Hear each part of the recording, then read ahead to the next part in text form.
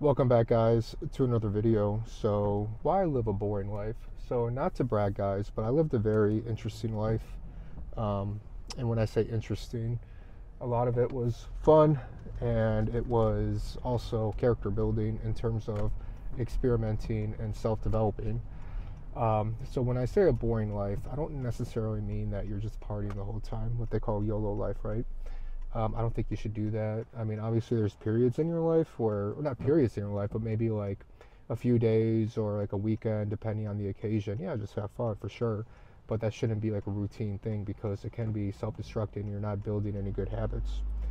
Um, but what I mean by why live a boring life, meaning that why live the average, the normal life, and doing what society tells you to do. And I'm not saying that's necessarily wrong, but it's kind of funny because if you ask the average person, uh, what do you like to do? I mean, do you like your job or do you like the current situation in your life? And they always give like a big sigh or like a big grump. And you always hear them complaining. Not all, but I mean, a good majority of the people that you would probably ask. And then you wonder why they're not willing to change or why they chose that path. And there's a number of different situations, right? Um, but it's probably a combination of they didn't know any better, they were told that they had to do that, they're a little bit lazy, or they're afraid of change. So it's a combination of those factors.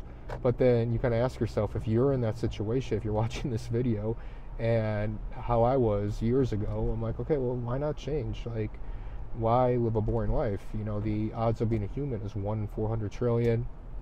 Um, life's a beautiful thing. The world's a beautiful place. I know there's a lot of bad going on, but what I mean by a beautiful place, I mean that there's a lot of amazing places to go and see in the world. And there's a lot of amazing cultures. There's a lot of great cities and countries and locations.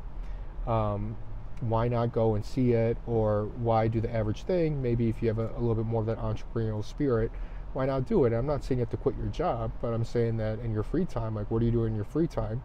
And if it's stuff that's not really adding value to your life, then why don't you do a little, you know, some normal, some abnormal stuff, and then who knows, it might take off, and then you don't need to work that job that you hate or that you wake up going to every day, dealing with people that you don't want to deal with. Um, so it's a thing that's not going to happen overnight, but it's a reality check, and I think most people consciously they're aware of maybe they're not living the type of life that they like but they don't know where to start or they don't know how to change it or they're a little bit lazy or they're a little bit afraid which is fine. It's i mean i want to say don't be lazy but it's normal to feel and think that but instead of just making it like a temporary thought and then going back to living your normal boring life why not start to take action? So have a think about that.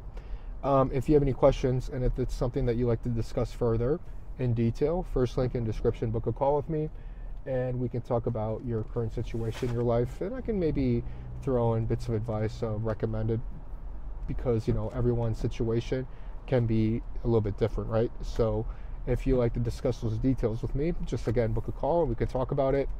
And this is something that I go heavily into detail in my course. So with that, guys, thanks for watching the video. Please like and subscribe. And once again, thanks for watching, and I'll talk to you guys in the next one. Bye.